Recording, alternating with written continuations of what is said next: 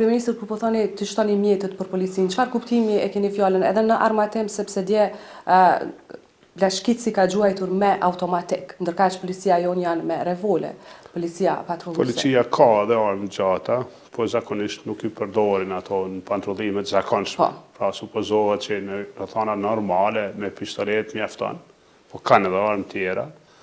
Tani me siguri se këto rastet e fundit do ta ndryshojnë pak protokollin e patrullimit, pra me siguri që policia do të ketë me vete edhe armë të gjata, mujnë mos me i ekspozu, madje se është pak trishtim me i pa qytetarët dikon me armë të gjatë që po patrullon, mirëpo me siguri se edhe kjo do të lejohet pra në të ardhmen.